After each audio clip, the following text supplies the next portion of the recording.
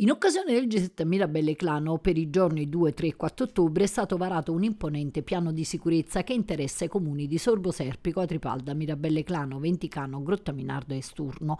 Per incrementare i livelli di sicurezza sono state predisposte diverse misure al termine di un'attenta analisi fatta tra forze dell'ordine e istituzioni coinvolte, dai sindaci ai gestori delle infrastrutture stradali.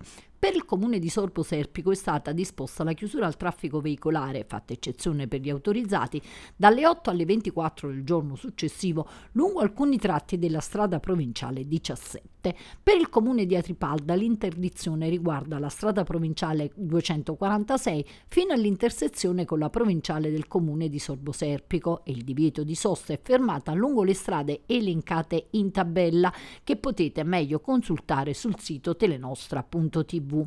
Comuni di Mirabelle Clano e Venticano, la chiusura al traffico veicolare e pedonale dal 2 al 4 ottobre lungo le strade in tabella, strada statale 303, strada statale 90 delle Puglie. Divieto di fermate e di sosta nell'area di parcheggio in via Bosco San Prisco destinata ai dipendenti, area di servizio Mirabella Est.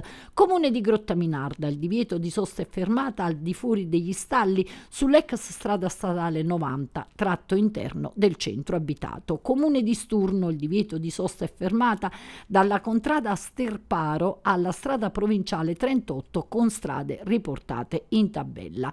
Divieto di manifestazione dalle 24 del 2 ottobre fino alle 23.59 del 4 ottobre o comunque sino a cessate esigenze. È fatto divieto di manifestazioni in luogo pubblico aperto al pubblico nei comuni di Mirabelle Clano e Sorbo Serpico.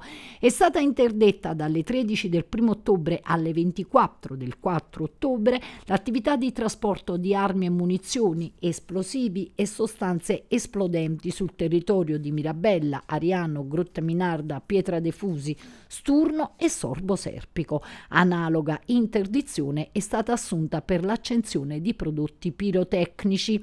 In questo contesto inoltre la Regione Campania ha disposto dal 2 al 4 ottobre la sospensione dell'attività venatoria sul territorio provinciale provinciale, compresa l'interruzione della mobilità venatoria dei cacciatori residenti in provincia di Avellino verso altre province. Le misure di sicurezza adottate potranno determinare alcuni disagi ai residenti agli operatori economici, ma attesa la rilevanza dell'evento si chiede uno sforzo condiviso. Sul sito della prefettura, sezione G7, riunione dei ministri dell'interno, sono consultabili le ordinanze esplicative pubblicate anche sul sito telenostra.tv.